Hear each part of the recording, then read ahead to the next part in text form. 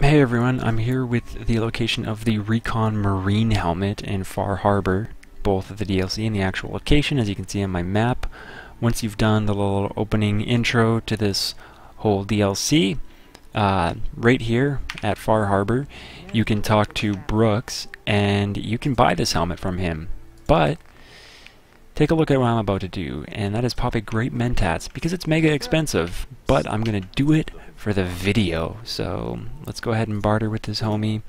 He's kind of a general dealer, uh, similar to uh, that Trashcan Carla, uh, if I'm remembering the right person. Anyways, um, uh, Recon Marine Helmet plus one agility perception. You can see all the uh, effects there.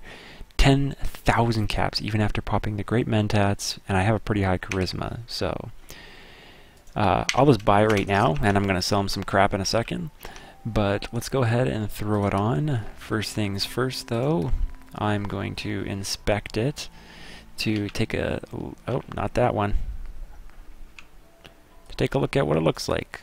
So, boom, there we go. The Recon Marine Helmet.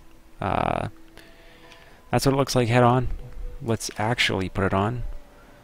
And, yeah, Looks pretty cool, right? Maybe it's just me. But uh, I'm going to go ahead and uh, not find an armor bench.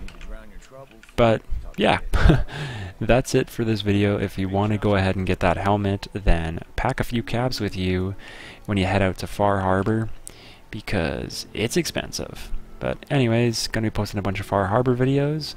And until next time, bye for now.